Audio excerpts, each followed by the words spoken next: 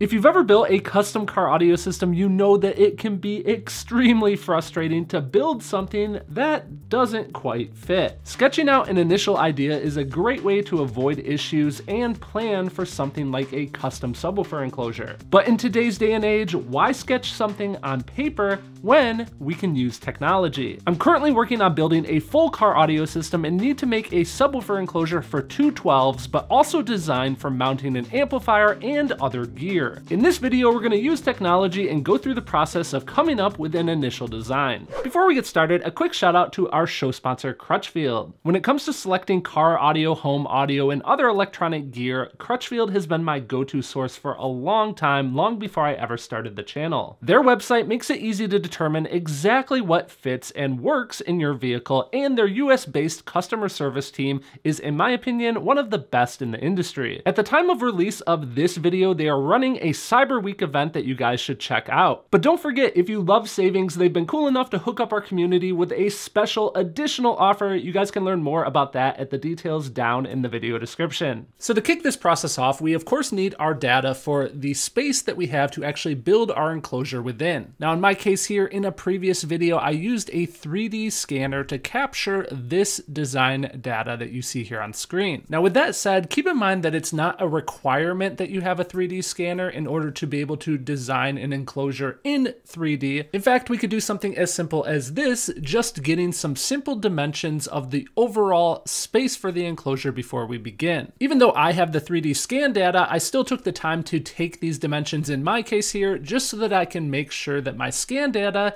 is properly scaled. So I used my 3D scanner to get a scan and I refined the mesh to a smaller model size and I was able to bring it in to the program here that we're designing in, which is Autodesk Fusion 360.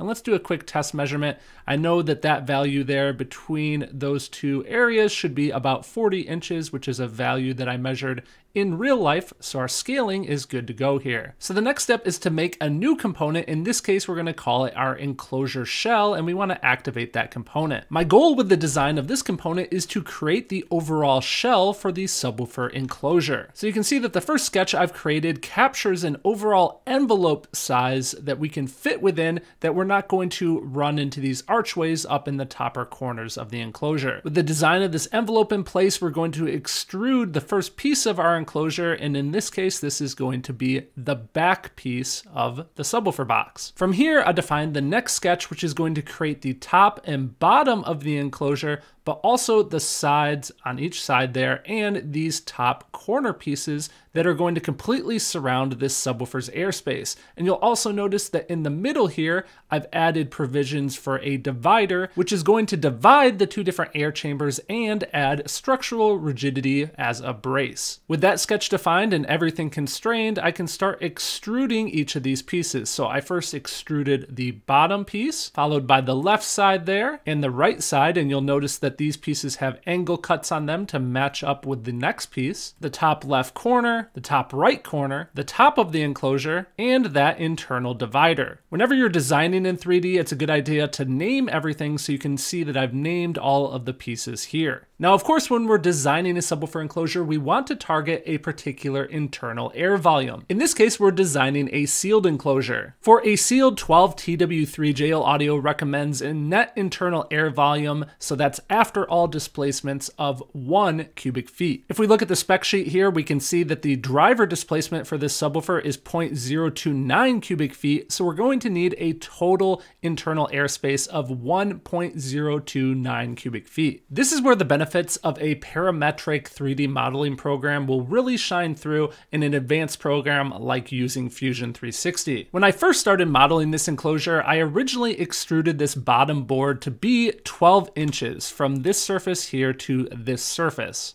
The problem though is when I extruded this extrusion here, which I'm using to calculate my volume, I found that the enclosed volume of this space ended up being 2,646 cubic inches. This is higher than our target. Our target is actually 1,778 cubic inches. So let's make a change here. Let's go back to that original extrusion that the rest of everything is based upon.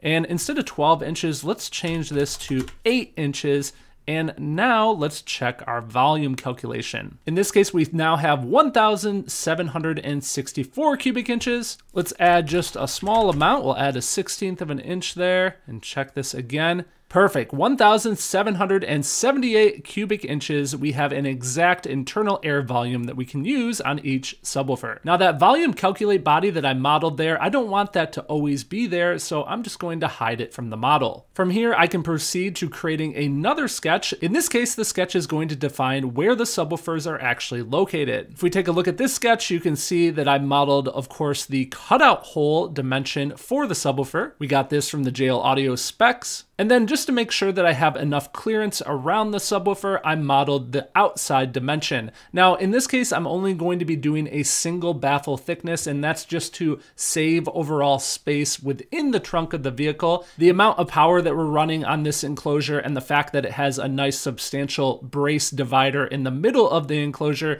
means that we're gonna be just fine with single baffling this. So here I added that baffle board. Now this is by no means a requirement, but just for some cosmetic appeal during the modeling process here. I did add what Fusion calls a decal, and I just grabbed these images off of the JL Audio website. Super cool that they have an image that is straight on of the subwoofer, so it allows me to do this easily and model this. But there you can see we've got the two 12TW3s mocked up there on our enclosure. Now again, we of course did take our initial dimensions in the vehicle, but it's super nice having a 3D scan. The fact that I can kind of look around the outside of the enclosure here and make sure that we're not having any interferences with the surfaces in the enclosure trunk itself.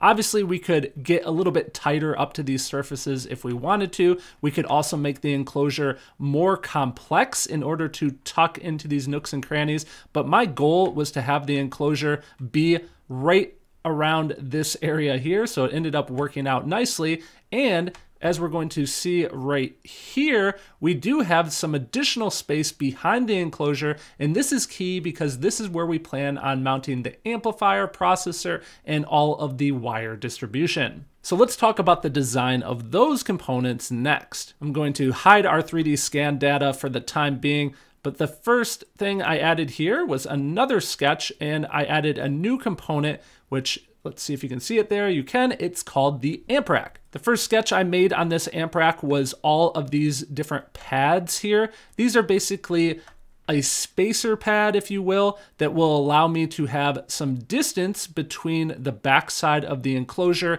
and the amp rack mounting plate, which will be made out of plastic that will bolt in all of these locations. The reason I like having these spacers, which you can see I've named over here, spacers, and I could hide them all if I want to. They're conveniently grouped in a group there. The reason I added those is one, I'll be able to isolate the amplifier rack mounting board from the enclosure and also to give myself some space between the amplifier rack and the enclosure itself that will allow some room for wires if I need to come through the back side of the panel or also some room for the heads of the zip ties if we do use zip ties to secure all of the wiring and different components to that board. Again here, I want to point out a benefit of parametric 3D modeling. So when I created the sketch for all of those mounting pads, you can see that there's a ton of different constraints going on here. And what I did is I initially modeled this square, this square, and this square, and I used a mirror line and some symmetry functionality in order to mirror all of those squares over to the other side.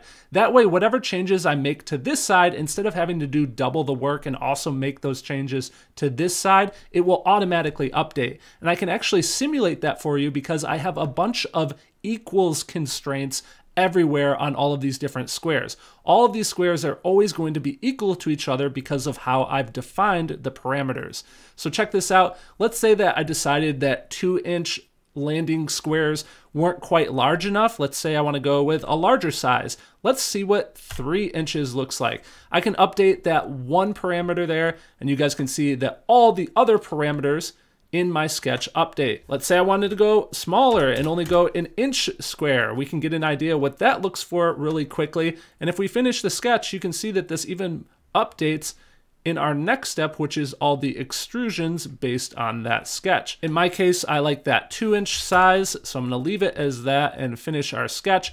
And I extruded those a half inch out because I'm gonna be using half inch materials in order to add those spacers. Next, I needed to define the overall shape of the plastic piece that's going to be mounted to all these pads and going to have the amplifiers mounted to it. So I created a sketch for that. The shape of that is very simple. It's just the overall size of the enclosure. I know that I have clearance for the overall enclosure, and this gives me lots of area to work with when I go to mount all the different components. So I might as well have it be the full size there, and we'll extrude that. And I extruded that at a quarter inch because the plastic we're using is a quarter inch thick time to add another sketch to that. And in this case, I'm just laying out where I intend to have the VX1000 slash 5i 5 channel amplifier. Again, JL Audio does a really good job of providing dimensions for their different gear. So in this case, I was able to just easily draw this up and have a mock-up here. And you can see that I spaced it an inch and a half away from the top of the board here. I could probably reduce that dimension if need be, but I think I'm gonna have more than enough room. I can always change that later. Honestly, the main reason reason that I'm doing this right now is I want to get a feel for making sure that I have enough room for the amplifier rack on the back side of the enclosure here. So I extruded that profile 54 millimeters, which is the height, if you will, of the amplifier. And I again added a decal there just to kind of give it some cosmetic appeal. But let's unhide our scan data. And if we do our section analysis again, you can see what kind of clearance we have between the backside of our rear seat and the amplifier right there. So we're gonna have plenty of room for all of our amplifier rack wiring and anything else that we need to add into this space. Again, if we were extremely concerned about saving every last little bit of space, we could obviously angle the backside of this enclosure and angle the amplifier rack and you could get a better feel for how close you were in here. But I rather have this additional airspace, if you will, which will allow for proper cooling of all the gear. And it will also just make wiring of everything a lot more simple having this nice large chamber behind here. So with that, we now have a fully modeled sealed enclosure that is perfectly sized for the exact target air volume that we're looking for. We've also made sure that this enclosure isn't going to hit anywhere in the trunk. We know that there's going to be plenty of room for the amplifier rack and the other components on the back side of the enclosure. So the next step is we want to design a custom beauty panel that is going to mount onto this baffle board. And we want to figure out how it's going to mount, how everything is going to come apart for serviceability, how it's going to actually look for the cosmetic appeal. Lots of different details to plan here, and I want to start this part of the process by actually hand sketching some different ideas. So a good way to do this is instead of using the perspective view, I'm going to use an orthographic view, which means I can look at surfaces straight on. So I'm going to switch to my back view here, and I'm going to take a screenshot of this image right here that I can then print a little something like this. I know that it's hard to see and that's because I intentionally reduced this so that it's just barely kind of like a ghost image. That way I can easily sketch on this and come up with some different ideas. To see all steps of this project, be sure to check out the related videos here on the channel. And if you're new here, I would love to have you as a subscriber. Also, if you're looking for savings on your next car audio, home audio, or electronics gear purchase, be sure to check out our show sponsor Crutchfield field at the links down in the video description. A big thanks to them along with Juan, Jerry, Steven, and the rest of the Patreon membership team for making these videos possible and thank you for tuning in and watching.